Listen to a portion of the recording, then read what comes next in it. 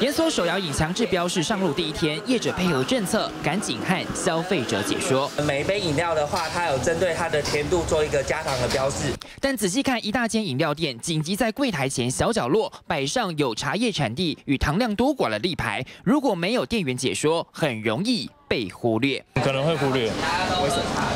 呃，因为就是它放那个牌子，我们可能会以为那是新上市的饮料，可能比较小一点，但是就是还是你可以看得到有这个东西。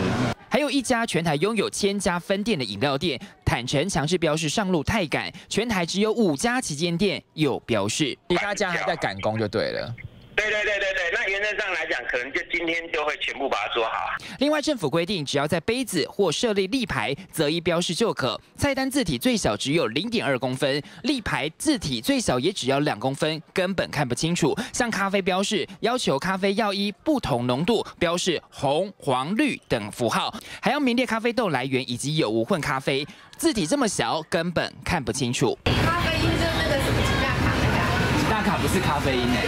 第一线的员工也不了解正确的标示该有什么细项，而且看板上的字体恐怕得用放大镜才看得清楚。还有素食店员工根本不了解要标示，还有听说要标示吗？我帮您再确认一下，因为今天那个上级下就有指示，没有通知要标示。标示新规上路第一天乱象不少，如果遭发现标示不实，最高将开罚四百万。但目前还只是劝导阶段，现代人越来越注重喝下去饮品的安全，业者没按规定标示，消费者恐怕也会暗自给负评。记者夏俊仁，台北采访报道。